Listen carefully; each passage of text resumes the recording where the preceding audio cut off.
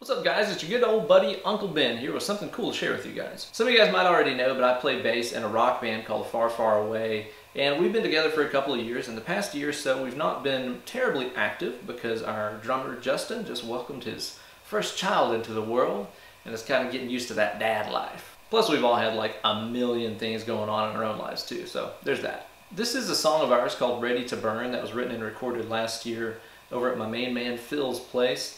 And it's not been released yet because all the tracking wasn't done on it. I happen to have this absolutely lovely LSL Balboa kind of P-bass style four string landed my lap um, a couple months ago.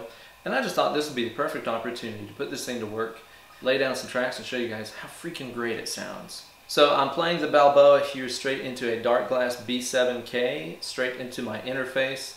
Um, there's no compression on the bass, very little EQing, just a little bit of a low end boost because I guess on the Darkglass I didn't pump enough lows into it while I was recording it. So EQ post, I just bumped the lows a little bit, but it's really straightforward. Bass, Darkglass, right into my interface.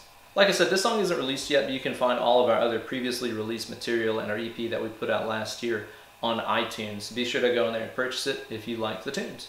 Hope you guys enjoy the tune. Stay tuned for more coming up soon. Cheers, guys.